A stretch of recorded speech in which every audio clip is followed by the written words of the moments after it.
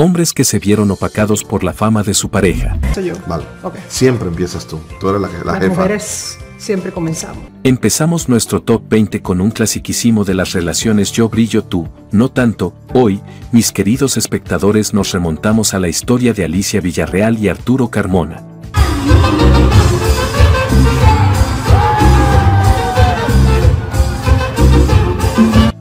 Sí, esa Alicia que le dedicó a Arturito una canción, con un sutil mensaje de ándale, mueve esos huesos y ponte a trabajar.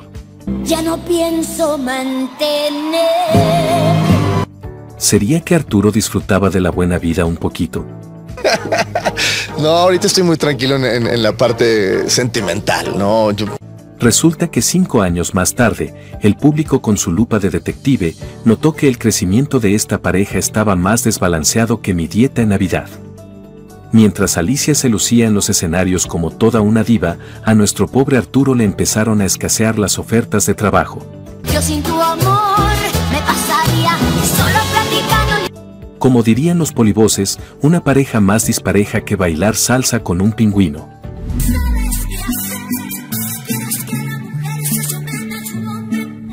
Carmona, en un arranque de sinceridad, confesó que se hartó de ser solo el esposo de la güerita consentida. Eh, Ella llegó a un momento tan importante de su vida que tenía muchísimos intereses encima y yo llegué a ser un estorbo, obviamente. Y por no saber manejar eso, obviamente llegamos a, a tronar. Imagínense sentirse como el bolso que acompaña a la celebridad, pero que nadie recuerda. Claro. El divorcio no tardó, porque la gente no paraba de murmurar que Arturo era un don nadie, algo que según él, lo hacía sentir como el tercer plato en una cena para dos. Desde que yo era mantenido, desde que yo me estaba trepando a la fama de, de- de su mamá, Alicia, por su lado, decía que Arturo la acompañaba en sus viajes cuando podía, porque el hombre estaba ocupado, estudiando. ¿Estudiando qué? Nos preguntamos.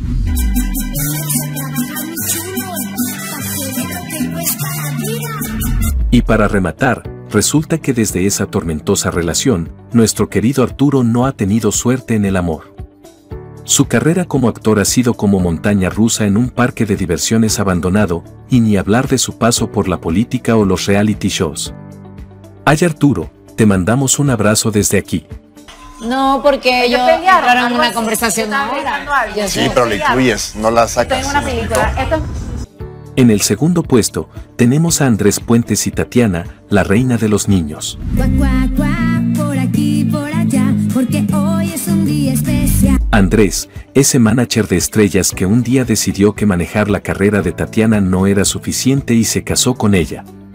Dos hijos después, la relación se convirtió en un capítulo de telenovela con más tormentas que un monzón. Sabes que todas estas personas son encantadores cuando necesitan lograr algún objetivo. Después se vuelven un infierno.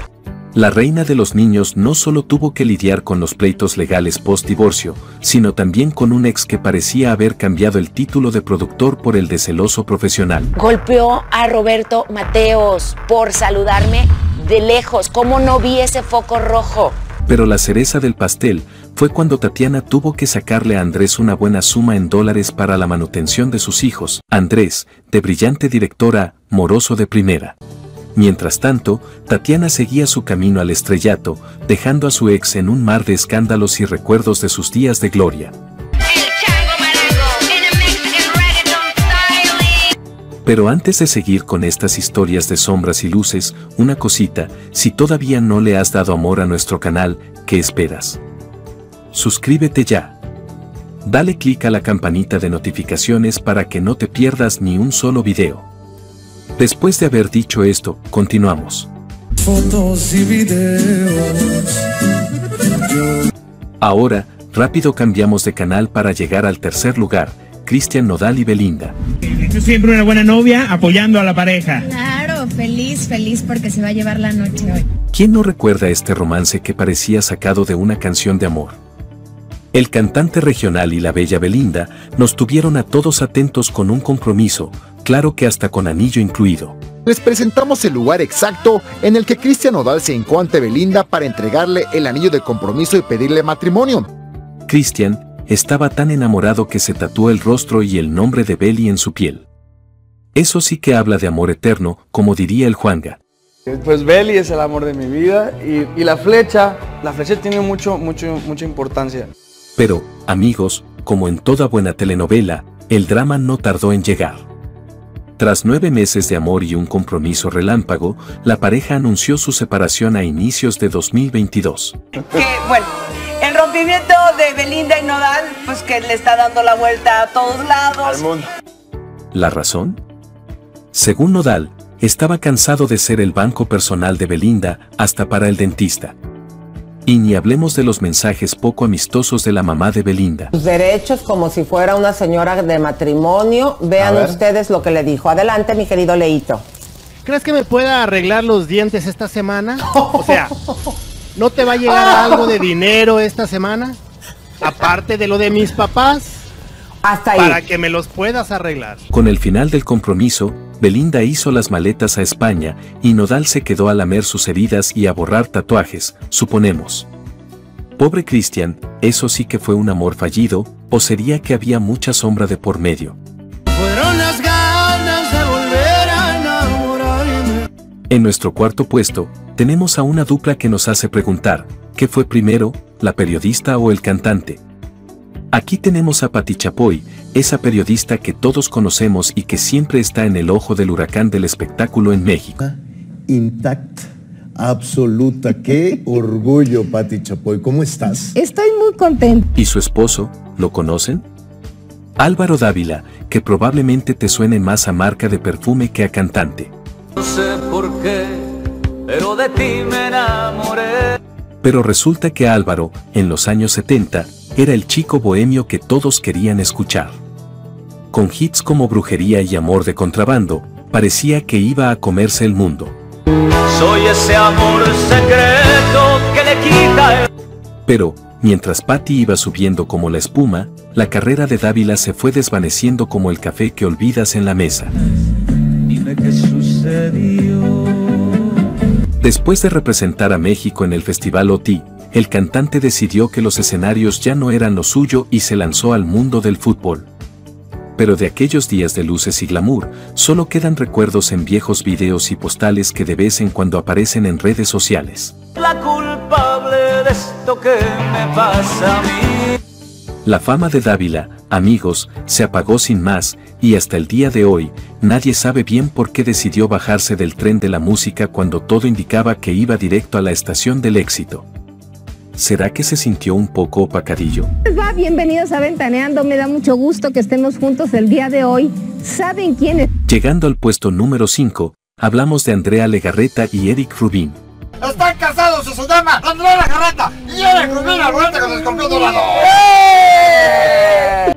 Amigos, ¿recuerdan a ese joven Rubín que en 1983 se unió a Timbiriche y era el galán que todos querían? Bueno, digamos que su melena rubia no fue lo único que se fue desvaneciendo con el tiempo.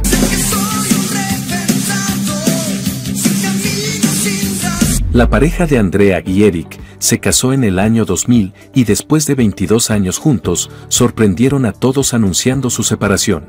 ¿Cómo va todo? ¿Cómo va la vida? ¿Cu- ¿Cuándo, ¿Cuándo se van a divorciar o qué pedo? Ya llevamos con esto años, ¿no?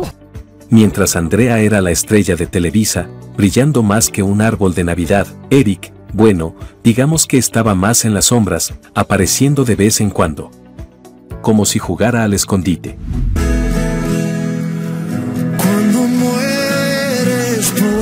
Un año después de su separación, Eric confesó que tal vez su error fue poner en pausa su carrera de cantante. Pero ojo, que ha anunciado su regreso al mundo de la música. Eric, te estamos esperando. En el número 6 tenemos a la reina del sur, Kate del Castillo, y su ex esposo, el exfutbolista Luis García.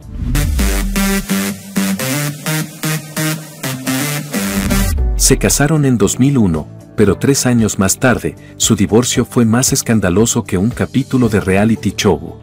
It was a violent marriage. It was a very bad marriage because I never told anybody. I was just like kidnapped in my house. mientras que Kate plantaba bandera en Estados Unidos con su serie en Netflix. Luis se fue a un perfil más bajo como cronista de deportes en TV Azteca. Incluso intentó ser entrenador, pero su fama de antaño no resurgió. A mí me gustaba concentrarme y de pronto me, me cambié de Guadalajara a Monarcas a Puebla. Me cambié tres veces de casa en, seis, en cada semestre. Entonces ya, esto no está padre. Y para colmo, después del divorcio, confesó que tuvo que empezar su vida desde cero hasta aprender a pagar los recibos. So it was me trying to survive. So I'm telling you this because I'm living. Nos vamos con la pareja número 7 y se trata de la actriz y conductora Adamaris López y el bailarín Tony Costa.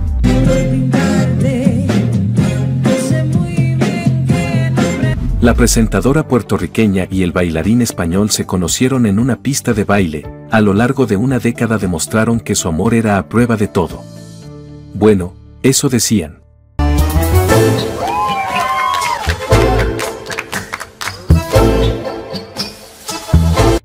El encuentro sucedió en 2011, cuando Adamaris se convirtió en parte de los competidores del reality Mira quien baila de Univisión, mientras que el español se desempeñaba como coreógrafo. Y venía de desempeñar una carrera que prometía en España. Y ustedes saben que, bueno, pues hubo un beso en el tango. Eso sí, Adamaris fue la primera que me dio el beso. Ella a mí, no fui yo a ella. Canalla. Fue en mayo de 2021, cuando Adamari López confirmó su separación de Tony Costa, con quien tuvo una hija llamada Alaya, por lo que a un año del anuncio, Tony Costa rompió el silencio durante su estancia en la casa de los famosos dos y contó cuál fue uno de los motivos por los cuales empezó a sentirse más distante de su pareja. La relación. por, por salud. La relación ya se terminó hace un tiempo atrás. Se había terminado. Insólitamente, un hecho que los debería de unir, los terminó separando, ya que según dijo no soportaba que su hija durmiera en medio de él y su entonces esposa. El tema de, de tener, por ejemplo, a Laia en medio de nosotros en cuanto a dormir con nosotros. Eso yo creo que también nos marcó mucho y no nos dimos cuenta. De allí en adelante, a Tony se le ha visto en realities o en su canal de YouTube impartiendo clases de zumba mientras que Adamari sigue trabajando en medios de comunicación.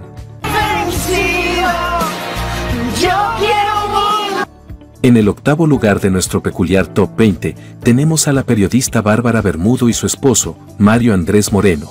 Sí. bienvenido. Bienvenido. Tanto tiempo, mi querido Ronder. Estás igualito. Gracias por venir a nuestra casa y... Sí, ese mismo que estuvo en medio de la polémica por su anterior matrimonio con Marta Socarrás. ¿Y quién puede olvidar aquella acusación de infidelidad? Hay muchas, hay muchos canales de televisión que están detrás de él. hay muchas emisoras de radio que quieren entrevistarlo. Bueno, pues resulta que la pareja se dio el sí, acepto, el 29 de noviembre de 2008 en una boda espectacular en República Dominicana. Y cuando digo espectacular, me refiero a un evento que ni los Oscar pueden superar. Mami, no me lo toques. Difícil cuadrarlo, tranquila, déjalo que ahí. Ahí está perfecto lo poco que me queda. Tú estás preciosa. Bárbara, la expresentadora puertorriqueña de primer impacto, se ha convertido en una verdadera influencer de la farándula latina. Su popularidad en el mercado latino es tan grande que a sus 48 años deslumbra a sus seguidores no solo con su talento, sino también con su imponente belleza. Arrasando en redes sociales con su cuerpazo es Bárbara Bermudo. Y... Por otro lado, tenemos a Mario Andrés Moreno, quien, aunque tiene su propia cuenta de Instagram y se presenta como periodista y presentador, parece disfrutar más de su título de novio oficial de Bárbara Bermudo. Claramente, en esta relación, sabemos quién acapara los reflectores, mientras el otro parece contento con un papel más, ¿cómo decirlo? Discreto. ¿Tú empiezas o empiezo yo? No empiezo yo. Vale. Okay. Siempre empiezas tú. Tú eres la, la Las jefa. mujeres siempre comenzamos. En el lugar número 9 de esta lista de famosas que opacaron el brillo de su pareja está la guapa Lorena Herrera y el cantante y actor Roberto Azad. Hacerlo porque es vivir nuevas experiencias, nuevas cosas yo eh, personalmente y sobre todo pues con mi pareja. Y para quienes no lo conozcan, él es un actor, cantante y fisicoculturista de 48 años de origen mexicano, quien ha actuado en telenovelas como Niña de mi corazón, Clase 406 y Alma Rebelde. Dígame. Parris, ¡Morris! ¡Ponte la camisa inmediatamente, Morris! En 2017, el esposo de Lorena Herrera ganó la Copa Internacional de Fisicoculturismo, pero sin duda alguna, muchas personas que no conocen de su trabajo, siempre lo ven superado y a la sombra del nombre de su famosa esposa.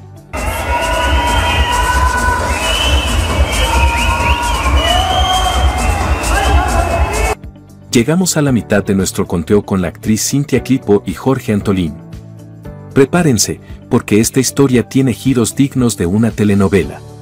Qué maravilloso es el amor, ¿no? Sí, es muy bonito el amor. ¿Qué, ¿Pero qué te gusta más del Apasionar.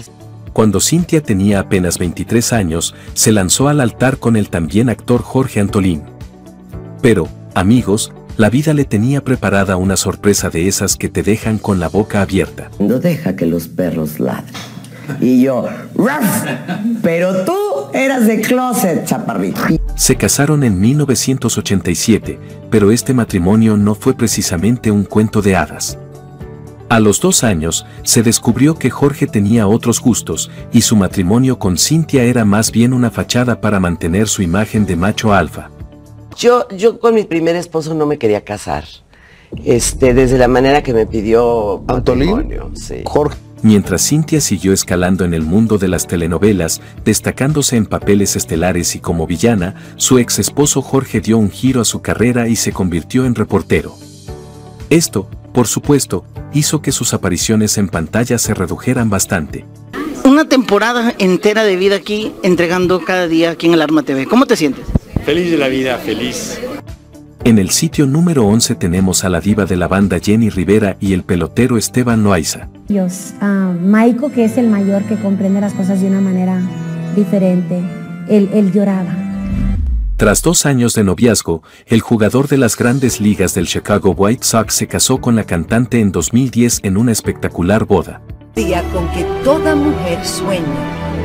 No quería ya llorar porque, porque ya me habían maquillado y Pero la felicidad duraría poco, ya que, en septiembre de 2012, Jenny y su equipo enviaron un comunicado a los medios de comunicación en el cual anunció su divorcio de Esteban Loaiza. Lamentablemente en diciembre de ese mismo año falleció la cantante en medio de especulaciones de una traición de su esposo con su propia hija Chiquis Rivera.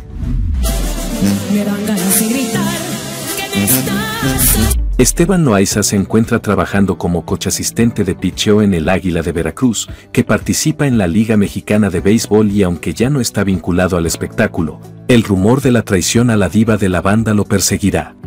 ¿Eras amante de Esteban Loaiza, el marido de tu mamá? Jamás. Continuamos nuestro viaje por el mundo de las parejas deslumbrantes con el puesto número 12, ocupado por la reina del rock en México, Alejandra Guzmán, y Gerardo Gómez de la Borbolla. En serio, en serio, en serio. Esta historia comienza en 2003, cuando Alejandra, siempre en el ojo del huracán, comenzó a salir con Gerardo, un hombre bastante conocido en los círculos sociales de México. Ya sabes, esos famosos socialité. Yo quería estar con mi hombre. Y ellos querían sushi, tequila y fotos. Y yo decía, no, yo quiero una cama. Pero amigos, esta relación no fue precisamente un camino de rosas. Se vieron envueltos en varios escándalos, incluyendo una investigación por parte de la justicia del estado de Morelos a Gómez entre 2002 y 2003. ¿El motivo? El uso de tarjetas de crédito clonadas. Habla de un giro inesperado. Lo que causó que Alejandra se marchara con todo ese brillo. Claro, para no verse involucrada con Gerardito, que como se vio, le quedó muy chiquito.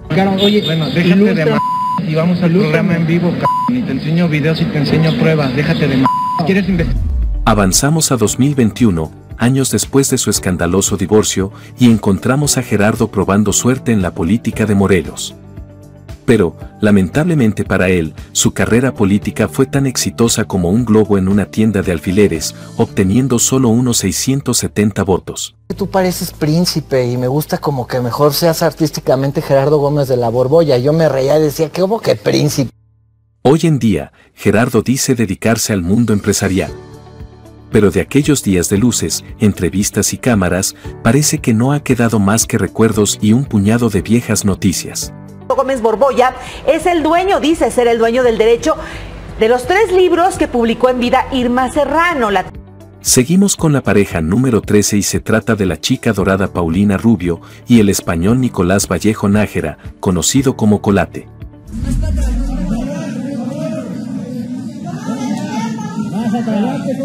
Más atrás. Pocas bodas se recuerdan tan excesivas como aquella. El evento tuvo lugar en mayo de 2007 en una colina del Parque Ecoturístico de Xcaret, en el corazón del Caribe mexicano.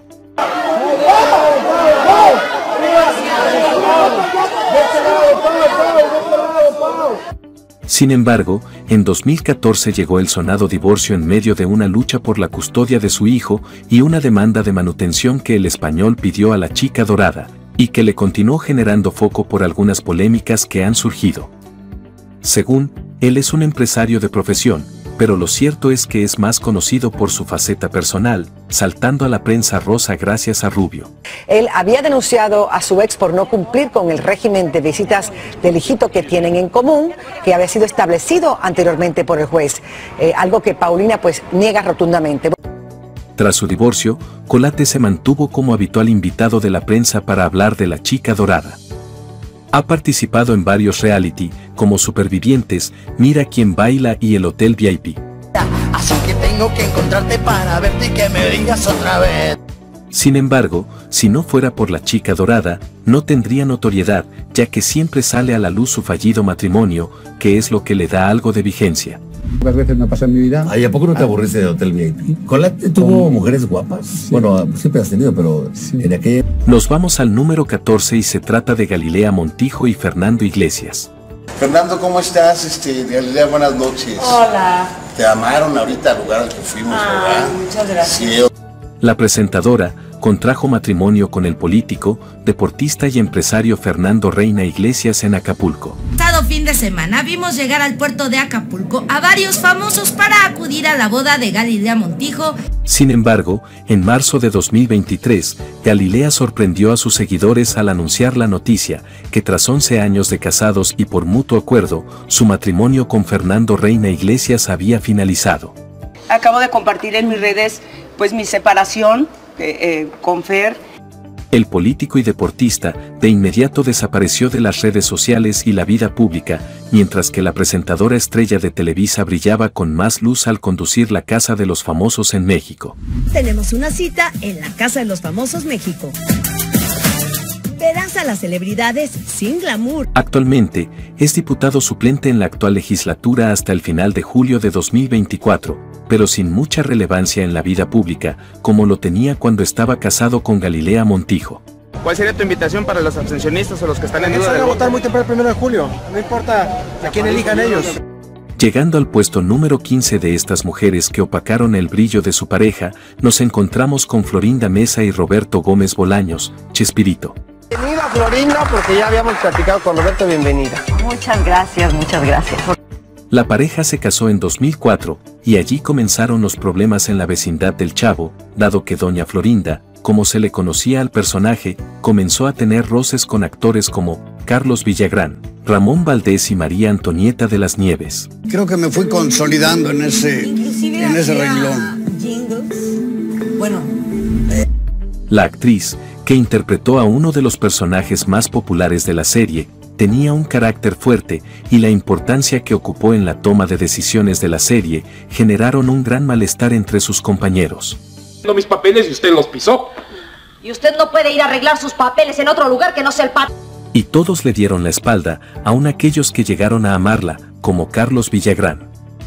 En los últimos años de vida del consagrado actor, era evidente como doña Florinda interrumpía sus entrevistas.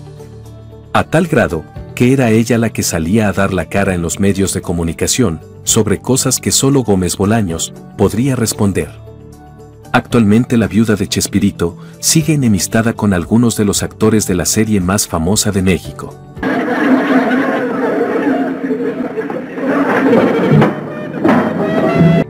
Seguimos con la pareja número 16 y se trata de Sergio Andrade y Gloria Trevi. Yo dije que era amor en el otro caso. Dijiste que era una relación sentimental. Antes de conocer a la intérprete de pelo suelto, su vida giraba en torno a la música. Ya que era cantante, compositor y productor. Siempre en contra del viento, si dicen blanco. Sergio tenía en la mano a la industria musical en los años 80. Incluso en los 90, cuando acogió bajo su manto a Gloria Trevi, aunque sin sospecharse que al mismo tiempo se acercaba a muchas otras jóvenes, prometiéndoles el sueño de la fama. ¿Y tú cómo permites eh, tener Él no andaba con un hombre con el que Él no andaba conmigo. no andaba contigo? No. Pero ni dinero, ni la fama hoy en día le resultaron, ya que ha estado envuelto en problemas legales. Y se le considera la figura masculina más controversial del mundo del entretenimiento en México.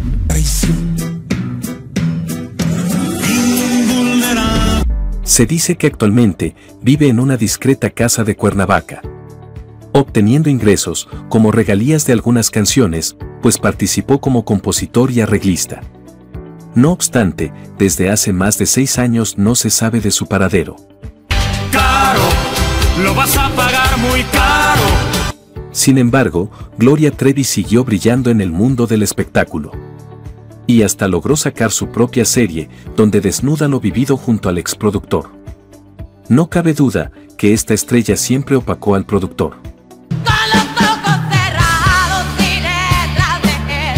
Y así nos vamos al número 17 de este top 20 de mujeres que con su brillo opacaron a su pareja. Y se trata de la española más mexicana, Rocío Durcal y Antonio Morales Barreto, mejor conocido como Junior. Deja que tu corazón venga a mí. La boda de Rocío Durcal y Junior ocupó la portada de las revistas. Pues recordemos que Junior era cantante del afamado grupo musical Los Brincos.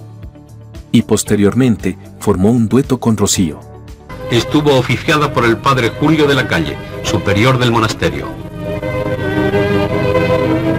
Aunque para muchos solo fue el esposo de Rocío Durcal, ya que muy pocos sabían sobre su faceta en el terreno profesional. Aunque se decía que él era manager, productor, cantante y actor. Sus principales objetivos siempre estuvieron alrededor de su famosa esposa. Y es que, mientras la española brillaba en Latinoamérica y parte de Europa, él se dedicó a su casa.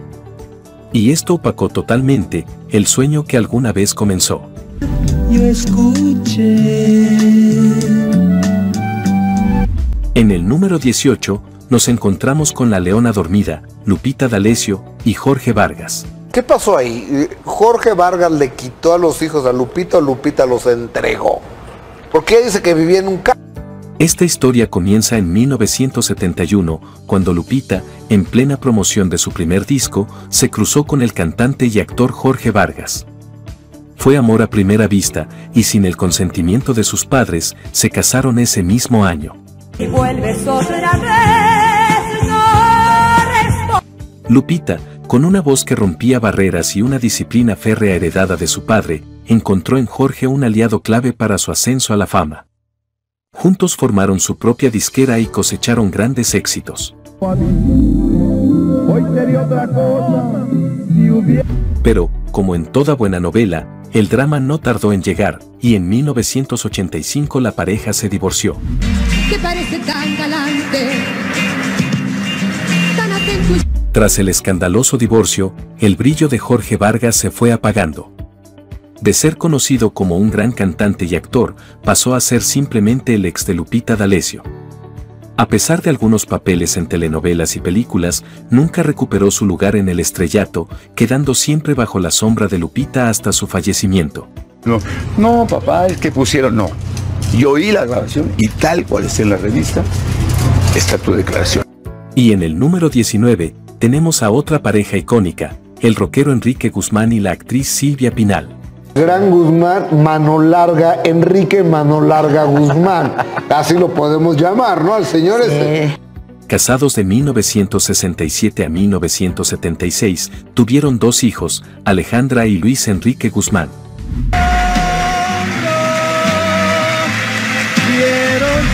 Pero la fama de seductor rockero de Enrique fue opacada con el tiempo. Aunque actúa en algunas películas, lo que realmente lo mantiene en el candelero son los escándalos relacionados con la familia Pinal. Ya que nos soportaron sin insultarnos jamás. Bueno, casi, ¿eh? Porque hablaron cuatro o cinco veces para... Shh, calla, calla.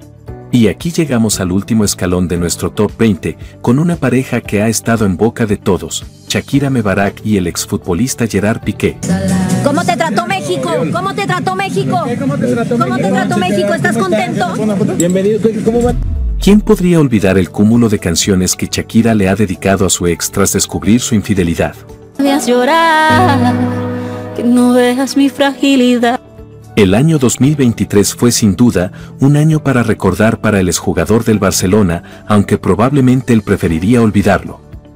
Antes, ir al estadio o a una discoteca era pan comido para Piqué. Pero después de la ruptura, cada salida se convirtió en un verdadero calvario. Los fanáticos de Shakira no perdían oportunidad para recordarle las letras de las canciones que la barranquillera le dedicó.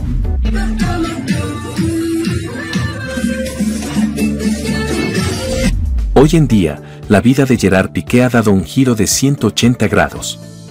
De ser una estrella del fútbol, pasó a ser un hombre opacado, incapaz de salir de su casa sin provocar comentarios e insultos de los fans de una de las artistas más reconocidas a nivel mundial. Tratando de tener brillo como empresario, aunque muchos piensan que será difícil sacudirse la sombra de su vida.